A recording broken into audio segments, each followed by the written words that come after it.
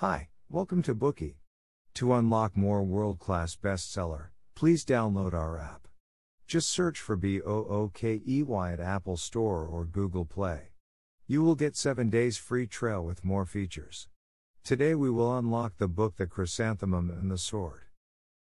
When we hear Japan mentioned, we perhaps think of cars, animation, electronics, sakura blossoms, shrines, and Japanese service.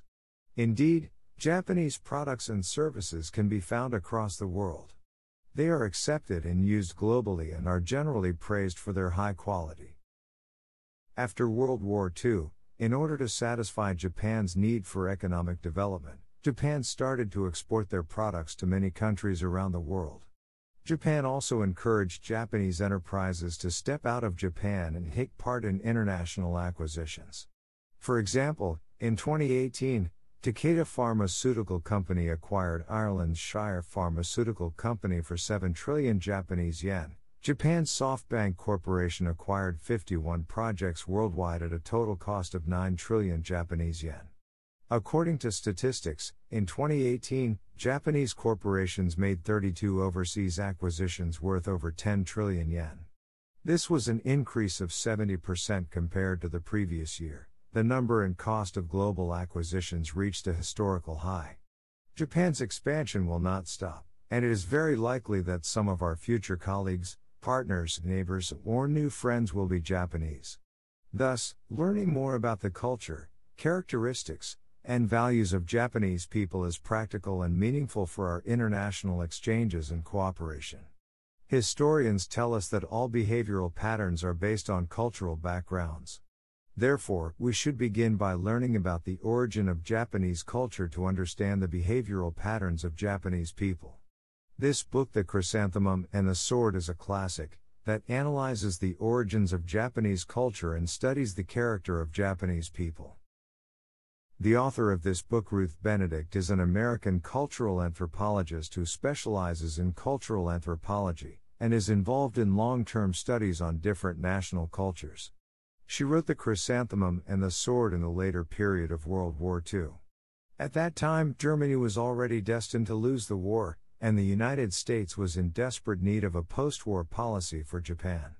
However, due to the culture differences between the Western and Eastern societies, and the lack of a deep understanding of Japanese culture, the U.S. remained undecided on its policy towards the country would the Japanese government surrender or not?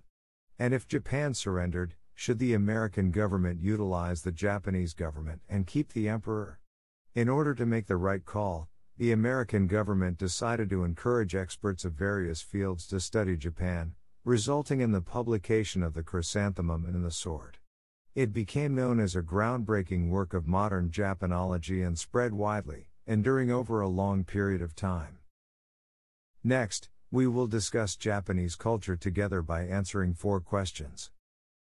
Question 1 How should we understand Japan's strict hierarchical concept of taking one's proper station?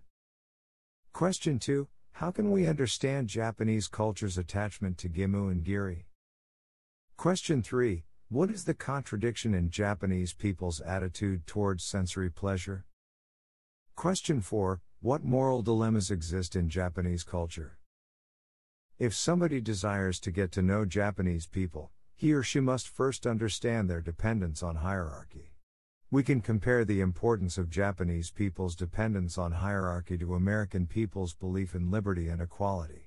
Japanese people's belief in hierarchy not only determines their relationship with political power and how they relate to one another, but also influences how they handle international relations.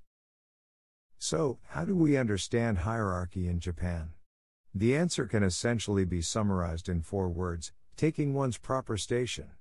This means that people of each class need to act in accordance with the orders of that class.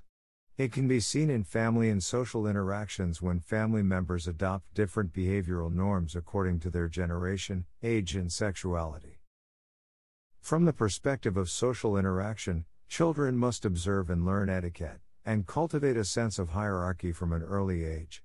Those of you who have been to Japan may have experienced the complexity of Japanese etiquette. In social interactions, the rules of etiquette differ based on the identity and social status of the person one is faced with. There are specific rules and requirements for using language and gestures. Let us take Japan's most common greeting, bowing, as an example. One not only needs to know who they should bow to, but also the angle and duration of their bowing.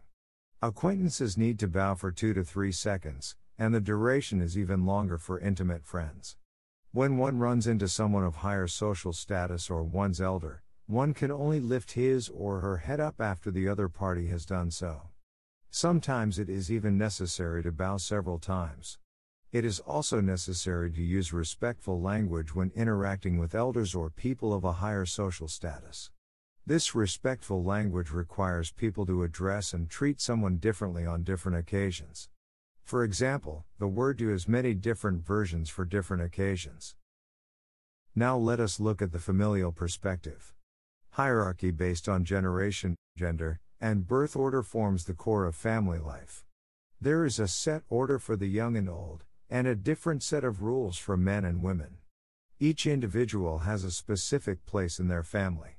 The younger generation must obey their elders, the family property is inherited by the eldest son, women's status is lower than men's, and a wife must obey her husband. Unlike in China, Japan's filial piety is limited to close family members, which includes fathers, grandfathers, uncles, granduncles, and their offspring. They enshrine spirit tablets which are similar to tombstones for their ancestors. If the words on the great grandfather's spirit tablet can no longer be read, they will not be re engraved. The graveyards of ancestors who lived three generations ago are soon forgotten. The father or eldest brother is responsible for all family members and the reputation of the family. When significant issues are met, family meetings are held to discuss and make decisions on the issue. From a political perspective, social classes back in feudal society were clearly divided and hereditary. Take the Tokugawa shoguns for example. The Tokugawas required that each household post a symbol identifying their social status and heredity on their door. Their clothing, food, and house should all comply with the rules of their inherited identity. There were four classifications for hereditary identities under the imperial family and in the court nobles warriors, farmers, artisans, and merchants, in order of high social status to low social status. This formed a strict hierarchy. Beneath them were people considered outcasts, they participated in filthy and basic jobs, such as grave digging and stripping animal skins. They were called untouchables, and were not even seen as human. The outcasts were under heavy pressure and controlled by strict laws. Cruel punishments were inevitable if they broke rules or dared to revolt. The Japanese concept of hierarchy extended into World War II. The belief driving their war efforts was the desire to establish hierarchy. The goal was to establish every country's position in an international hierarchy, with Japan ruling at the top. This was apparent in Japan, Italy, and Germany's tripartite pact, in whose foreword Japan wrote, the governments of Japan, Germany, and Italy consider it as a condition precedent to any lasting peace that all nations of the world be each given its proper station. The statement that the Japanese ambassador handed to the United States Secretary of State on the day of the attack on Pearl Harbor also mentioned it is the immutable policy of the Japanese government to enable each nation to find its proper place in the world. The Japanese government cannot tolerate the continuation of the present situation, since it runs directly counter to Japan's fundamental policy to enable each nation to enjoy its proper station in the world.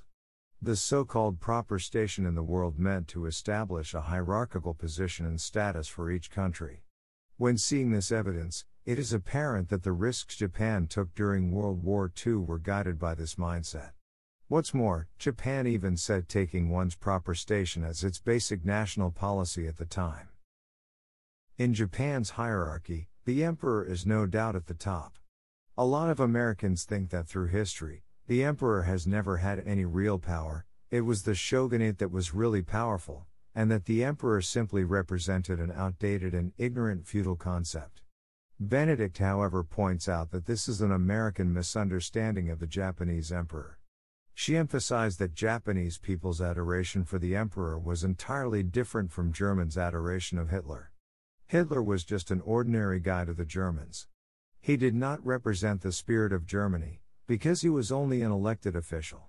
For Japanese people, the emperor was an essential part of Japan, he was the symbol of Japan, and without him, Japan would cease to exist.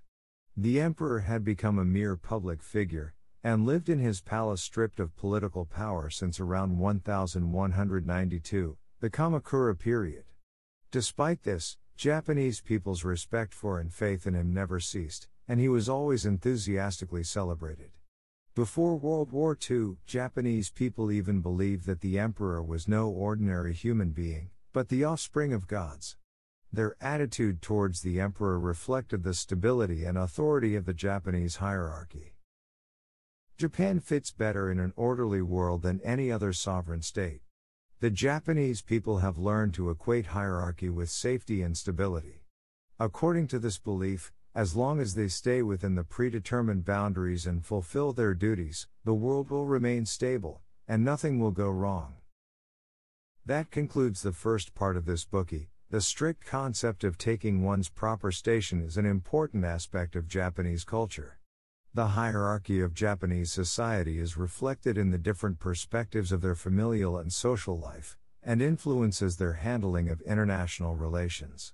The Japanese emperor is at the top of the hierarchy in Japan, and Japanese people regard him as being above all else.